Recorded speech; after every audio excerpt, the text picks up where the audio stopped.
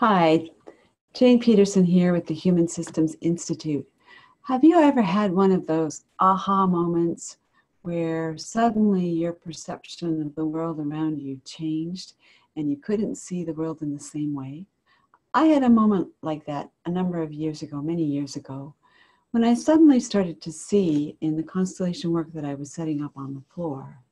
a way of looking at that that changed my perception of what I was doing in the field and what I was doing for clients. In particular, I started to see that we are, in a certain way, animals.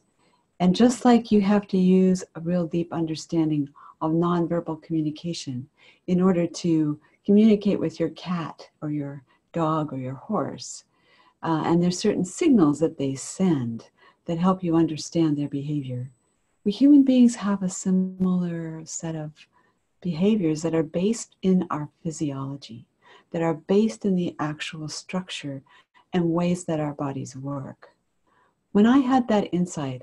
all of a sudden I started to be able to understand what my clients were showing me when they placed um, representatives for their family system on the floor. I would really like to share what I learned in that moment and beyond as I built on that understanding, and how it's helped me really be much more effective in my work, both in terms of hearing what clients are telling me when they're telling me a story, because often our stories are coded in body based relational language. So I'd love to share that with you. I'd love to really empower you to read pattern and to know much more about how to interact with the shapes of the systems that your clients are showing you.